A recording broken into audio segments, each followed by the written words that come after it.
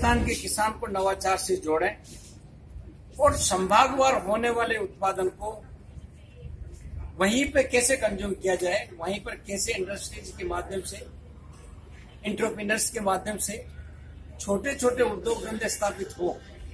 आगामी ग्राम का जो जहाँ तक सवाल है, अक्टूबर, नवंबर के महीने में उदयपुर में होने की माननीय मुख्यमंत्री जी ने घोषणा की गई। हम लोग कोशिश करेंगे कि जयपुर और कोटा के बाद आगामी होने वाला ग्लोबल एग्रीटेक मीट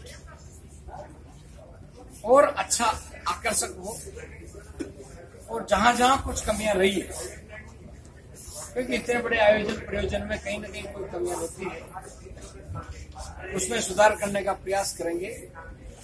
और हिंदुस्तान में ग्लोबल एग्रीटेक मीट का होगा विजन।